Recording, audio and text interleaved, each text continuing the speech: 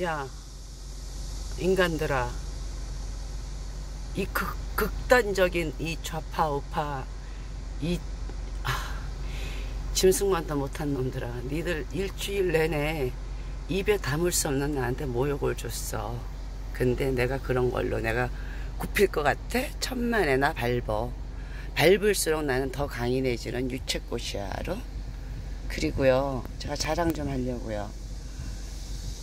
그 백화점에 깡냉이 타러 갔다가 악세사리 구경하고 있었는데 어떤 보수 지지자라고 하면서 어 팬이래요. 절더러 고생 많이 했다고 꼭 선물 하나 주고 싶다고 그래서 아, 염치 불구하고 팔찌 하나 얻어왔어요. 어, 굳이 사양했거든요. 괜찮다고 했는데도 어, 고생했다고 그리고 지금 그 이씨 고소 취하 잘했다고 하고 그리고 김건희 씨에 대해서 잘못한 건 계속 비난해 달라고 하시네요. 이게 진짜 보수죠.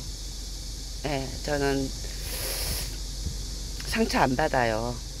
니들이 나를 밟을수록 나는 더 강인해지는 유체야. 알았어? 자식들.